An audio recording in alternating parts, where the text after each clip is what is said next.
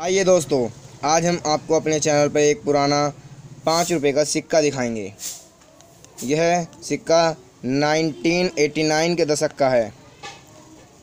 देखिए, यह कितनी क्लियरिटी से दिखाता है हमारे देश की परंपरा को। ये देखिए, यहाँ पर एक अशोक चिन्ह है, जो कि काफ़ी क्लियरिटी से बनाया गया है। देखिए, इसके अंदर आपको एक ऑक्स दिखेगा, यानी बैल, एक हॉर्स दिखेगा, यानी घोड़ा। जो कि आपको किसी भी आजकल के नए सिक्के में नहीं दिखेगा। हम आपको आज के नए सिक्के से इसको कंपैरिजन करवा के दिखाते हैं।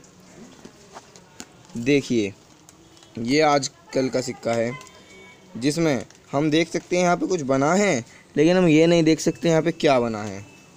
लेकिन जैसे ही हम इस सिक्के को देखते हैं तो इसमें सपा सपा दिखाई देता है, और इसमें ये चौबीस तीलियाँ भी अच्छी तरह दिखाई दे रही हैं। ये अशोक चिन्ह बोलते हैं इसको। ये अशोक स्मारक है। ये देखिए। यहाँ पे लिखा है सत्यमेव जयते, यानी कि सत्य की हमेशा जीत होती है, जो कि हमारे बैक साइड पे लिखा रहता है, पर ये इसका फ्रंट साइड है। अब हम आपको इसका बैक साइड दिखाते हैं।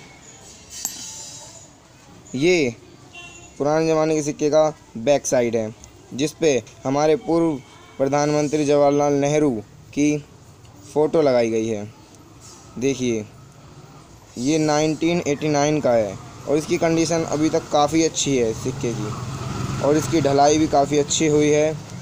ये देखिए। ये देखिए।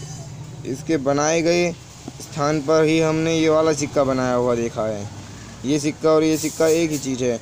पर इस सिक्के को सरकार ने बनाना इसलिए बंद कर दिया क्योंकि सुनार जो होते थे, वो इस सिक्के को गलाकर अपने आभूषण बनाते थे, क्योंकि ये सिक्का लोहे का नहीं है, क्योंकि ये सिक्का कांसे का है। कांसा एक प्रकार की धातु होती है, बहुत अच्छी धातु होती है। ये देखिए, और इस सिक्के को देखिए, ये सिक्का इस वाले सिक्के के मुकाबले में काफ़ी बड़ा है, ये वाला सिक्का इस सिक्के के मुकाबले में काफ़ी बड़ा है। तो हम आज का ये सिक्के का एपिसोड यहीं ख़त्म करते हैं। अगली बार हम आपके लिए एक और नई सिक्के की वीडियो लेकर आएँगे। एक और नए ऐतिहासिक सिक्के की वीडियो लेकर आएँगे। धन्यवाद।